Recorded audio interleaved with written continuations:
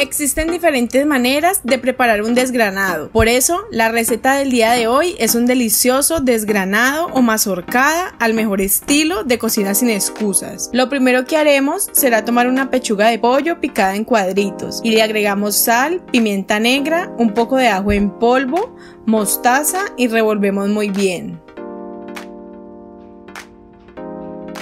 Ahora vamos a utilizar carne blandita de res, también picada en cuadritos, y le agregamos sal, ajo en polvo, pimienta, salsa negra y revolvemos. Mm,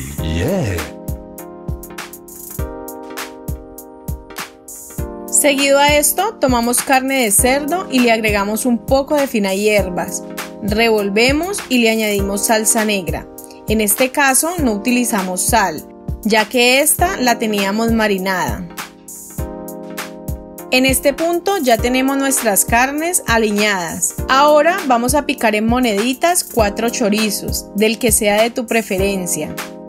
En una sartén agregamos un poco de aceite y vamos a sofreír la carne de res. Cuando esté doradita por ambos lados o esté en el punto que deseamos, la retiramos. Y repetimos el proceso con la carne de cerdo. Agregamos y cuando esté en el punto deseado, retiramos y reservamos. Ahora en la misma sartén agregamos un chorro de aceite y ponemos a sofreír la pechuga hasta que esté bien doradita y retiramos. Vamos a partir una lechuga batavia previamente lavada. La picamos en tiras finamente y la agregamos a un recipiente donde añadiremos agua con hielo para que no se oxide.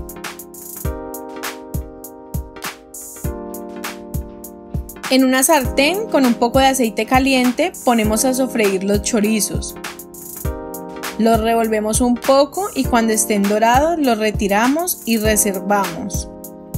En nuestro caso vamos a utilizar maíz dulce precocido, pero si tú prefieres puedes hacerlo desde cero, con la mazorca entera y la desgranas. Y ahora es momento de armar nuestro desgranado. Empezaremos con una cama de lechuga batavia. Ahora agregamos un poco de maíz dulce.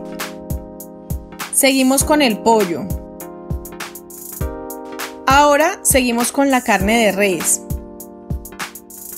Luego agregamos la carne de cerdo. Ahora agregamos el chorizo. En cuanto a salsas, añadimos salsa tártara, salsa rosada y salsa de piña.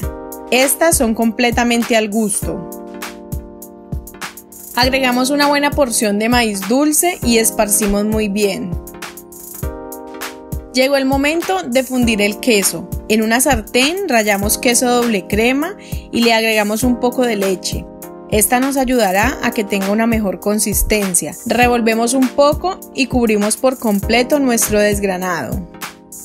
Cuéntanos desde dónde nos ves para así saber hasta dónde llegan nuestros videos.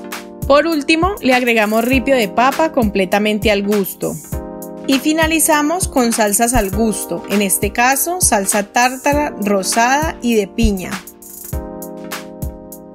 Ahora sí, a disfrutar de un delicioso desgranado hecho en casa al mejor estilo de cocina sin excusas. Este es ideal para compartir en familia cuando quieres probar algo diferente.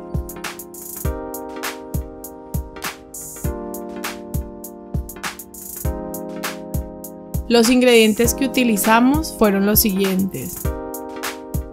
Mmm, cocina sin excusa.